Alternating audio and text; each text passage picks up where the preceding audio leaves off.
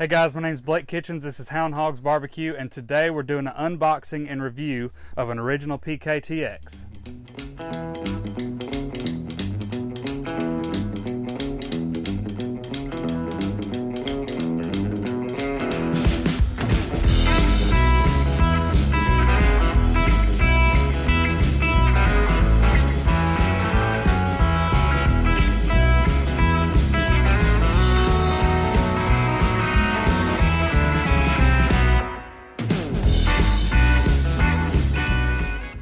Right, so we are at my friend Greg's house. He just bought a brand new PK. Uh, he's been wanting one for quite a while.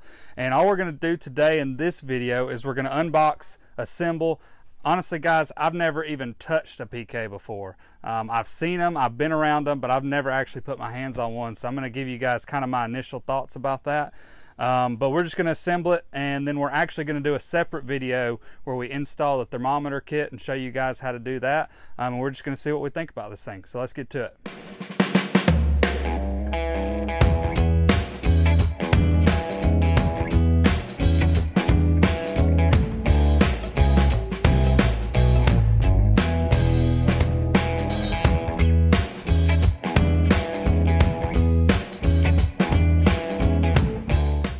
So we just got everything unboxed.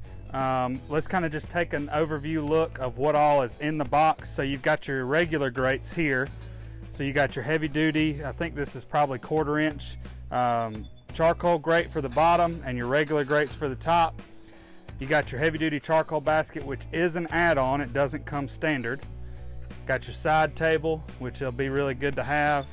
Uh, a couple little things. This is a TrueTel thermometer um, that we're going to install in another video, but this is a really good accessory if you're going to ever do any kind of indirect cooking. And then obviously you got your grill grates. Now this, again, was an add-on, but I'm telling you, unless you've cooked on grill grates, you won't understand, but this is definitely worth it, especially on a PK. Then you got your bottom half, your top half, came with a free hat, um, which nice looking little hat. Uh, we got the handle here, and really just a couple other little parts. And then because this is the TX model, it's got the breakdown, uh, you know, cart with it.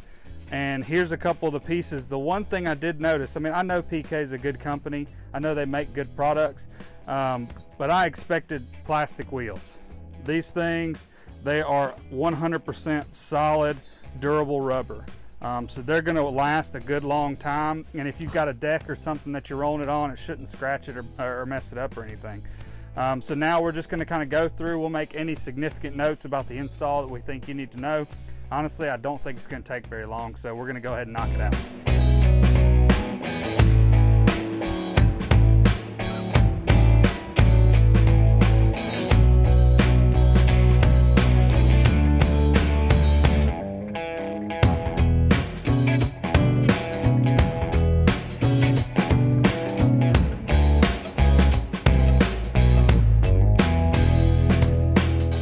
Right, guys, so we got this thing all put together. Honestly, it was about four to six screws in the cart um, and a couple screws to put the handle on and the nameplate, but that was really about it. I think it only took us probably 30 minutes taking our time.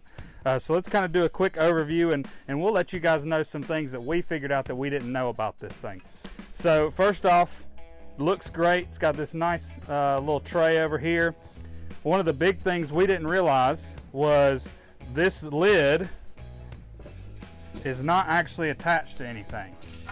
The way they've designed it is it actually sets down in some grooves back here and then when you flip it up it holds itself up. So it's a pretty cool design. It wasn't what we expected uh, but I don't think it's going to cause any problems. So we got the lid open, we set it up because he wants to be using his spatula with his right hand so he can lift the lid with his left. And then obviously we got your grill grates in here.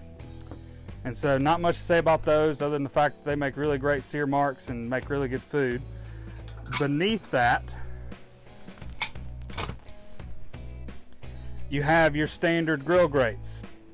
Now, you have to use these grill grates with your actual grill grate brand grill grates. You can't just stick those in and they're, they're not gonna have anywhere to set. A lot of people, they take baling wire because they're only gonna use the grill grates and they actually tie them together um, that's going to be up to you and how you want to cook. Uh, honestly, this top grate, there's not really much to say about it. It's not very thick metal. Uh, it's pretty standard for what you would think for a cooking grate. It would probably wear out pretty quickly, um, but like I said, we got those other grill grates for that purpose. So, take this out. Here's our charcoal basket, which is probably the heaviest part of the whole thing, and our charcoal grate. Now one thing we realize is these bottom vents, they are actually, they're directly beneath it. So you probably will have a little bit of ash coming out, but it looks like they've got this thing designed where these little flanges down here are gonna catch anything, so you won't have to worry about it. But once again, it was something we weren't expecting. So the bottom is almost identical to the top. They're a little bit stiff. We took a little cooking oil, I mean like a couple drops and put it in there and it loosened them right up. Uh, but that's pretty much it for the overview of the outside. All right, so let's talk about the takedown. Uh, so this cart, if you don't really kind of look into it a whole lot, what you expect is you to kind of pick up one end, push something in and it's gonna start rolling. Uh, that's not how this actually works. This grill is meant to come off uh, before you transport it like that. So this thing works as a safety. It goes over these tabs right here to keep the grill in place while it's stationary. So that's actually pretty nice. But then in order to take it down, you can either take the top off, then the bottom off, or you can take them off both at the same time. So you pick it up, take it off. And now you're going to flip your cart up. And on this side, where the wheels are on the ground, lay it down, and you're going to put your grill on like this. It's actually designed, it's actually designed where it's got holes right here for bungee cords to strap to, to hold it in place. And so then it's on there and you can wheel it around. Um, so it's not permanently fixed to this cart, which was not what we expected um, but it still seems like a good design. So before we do our final thoughts, let's go ahead and burn this thing in. Um, all we're gonna do is we're gonna take some cooking oil, kind of spray the inside, spray all of our parts down, um, and then we're just gonna burn a pretty hot charcoal fire in there. Uh, some people will take wood chunks and put it in there and try to get that smoke kind of built up in there. It's really up to you. The biggest thing is you want to burn off any dust or any you know particles or anything like that that may have come from the factory. But that's really all you do is you just start a fire in it and let it burn.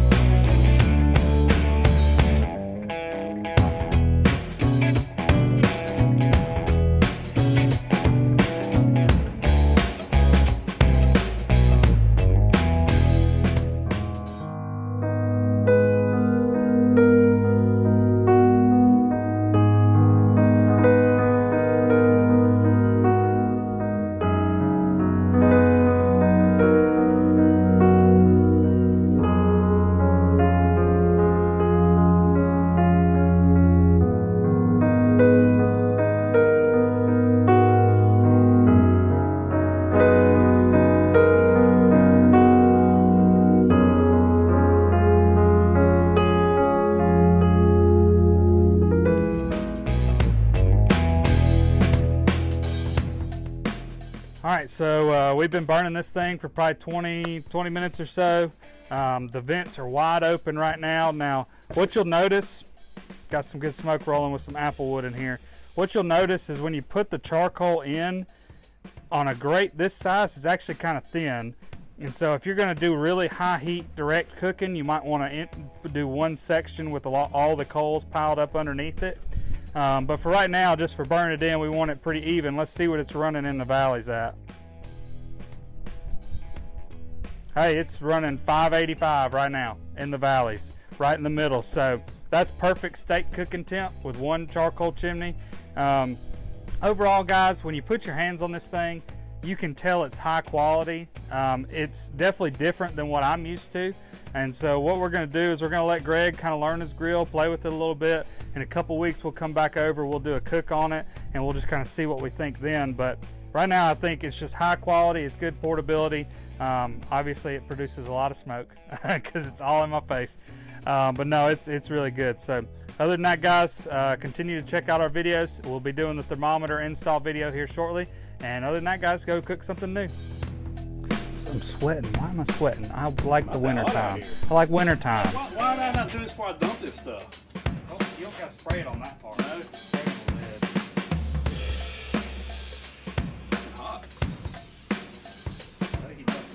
Hot.